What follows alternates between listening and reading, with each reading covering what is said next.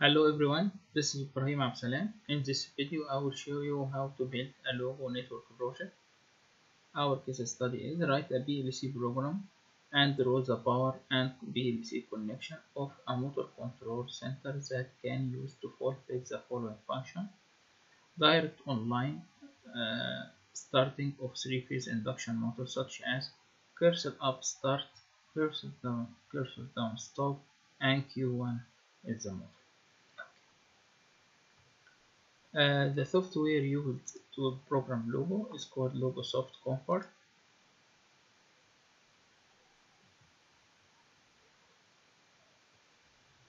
Once it open, we select network project, add a new device. The one I have logo 8.fs4 so okay press on the setting button okay go to online setting. Before press refresh. Uh, we, your logo must be powered on and the Ether network connected to the uh, to your uh, computer or your laptop. Press refresh. Now the Logosoft Comfort trying to find the logo. Unfortunately it didn't found.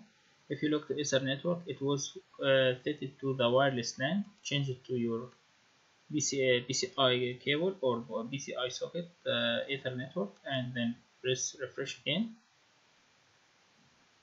Okay uh, the logo is found here. Double click and test the connection.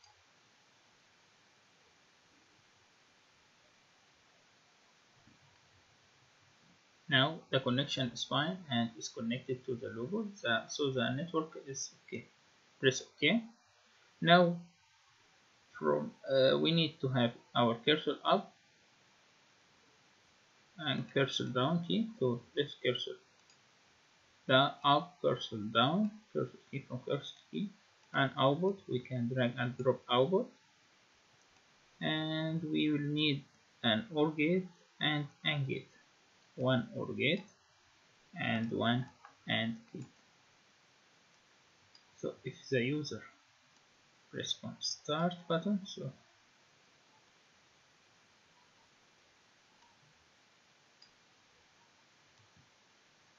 now if the user press on start the motor will start and we need to make our latch.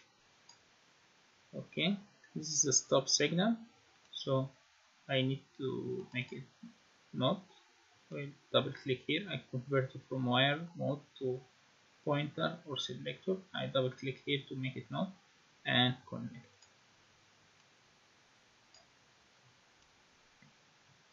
That's our circuit now we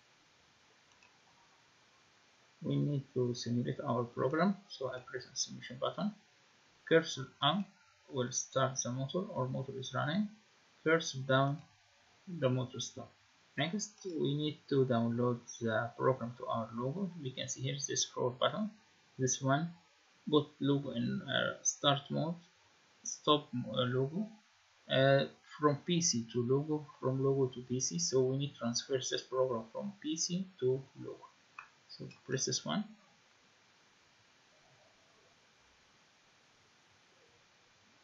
Test the connection.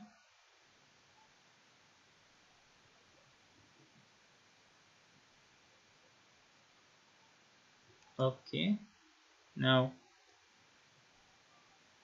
connect to PA or the, the software. Now before programming the, mode, the logo must go to stop mode then it will be programmed and then we'll go to run mode again. So okay now it's programmed.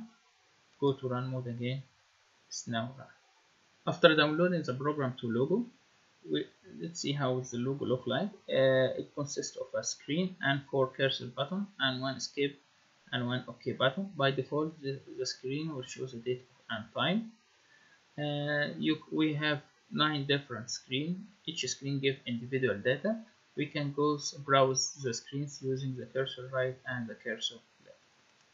So by pressing cursor right, we go to the first screen, which indicates the input status. So if any input is high or active, it will indicate or we can recognize it from this screen second screen tell the status of the output data Oh, or the digital output. Third screen is regarding for the analog inputs. The fourth screen for the rest of analog signals input signals. Fifth is the analog output signals. Seventh the rest of analog signals. Seventh is the memory status indicate which memory is uh, iterative one and the memory status value. 8 now the cursor uh, control it is the ninth screen to press in a, for example if I want to press up cursor to turn on the motor I had to press escape plus the up cursor as I will show you. Now I press escape and up sorry escape. And up.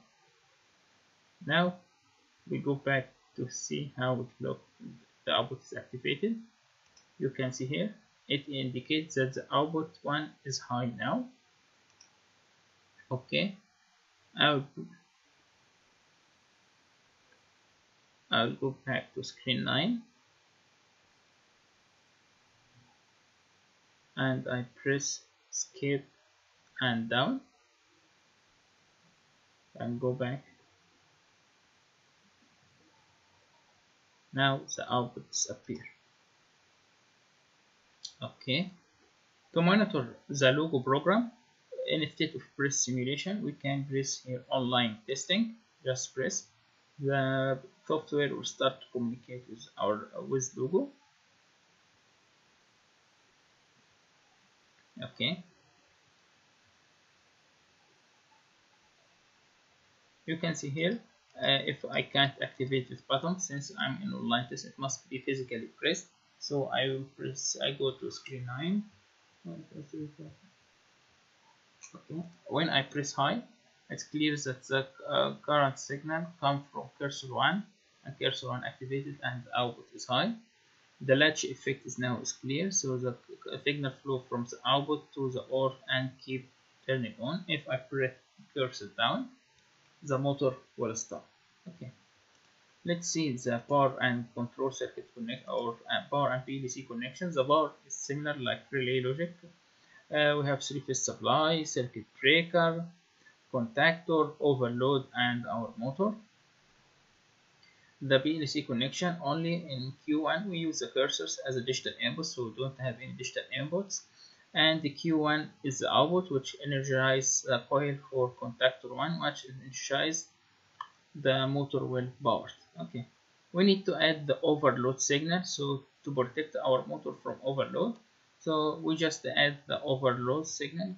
The overload uh, contact will call power to connect it to I1 we can add it in our program. Out from online motoring we now add one more input it's I1 double click. Communicate simulation. We make it looks like a push button. Convert it to button to make it not. And to have a look. And okay we can simulate this program. So if I press start the motor is running. I press stop the motor stop I press start the motor is now running and overloads happen so once it's received the motor will immediately stop. Thank you for listening and goodbye